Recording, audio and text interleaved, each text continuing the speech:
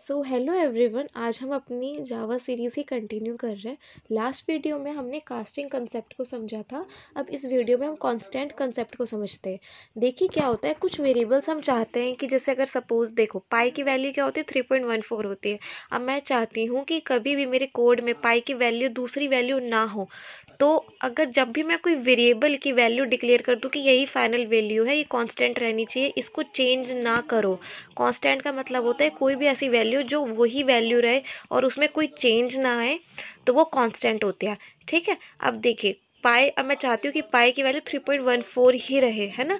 और इसमें कोई चेंज ना आए। तो मैं क्या करूँगी? सिंपल है। मैंने फ्लोट पाई लिया, है ना? पाई वेरिएबल लिया। अब मैं क्या करूँगी? सबसे पहले मैं फाइनल कीवर्ड लगा दूँगी। फाइनल कीवर्ड जब भी हम लगा देते हैं ना, उसके बाद कभी भी आप पाई की वैल्यू अपडेट नहीं कर सकते, कोई दूसरी वैल्यू नहीं डाल सकते पाई में। पाई की वैल्यू पूरे कोड में थ्री पॉइंट वन फोर ही रहेगी। So this is the use of final keyword and अब हम समझ के कॉन्स्टेंट कंसेप्ट क्या है। ठीक है? अब नेक्स्ट वीडियोस में हम ऐसे ही छोटे छोटे कंसेप्ट लेंगे, ठीक है?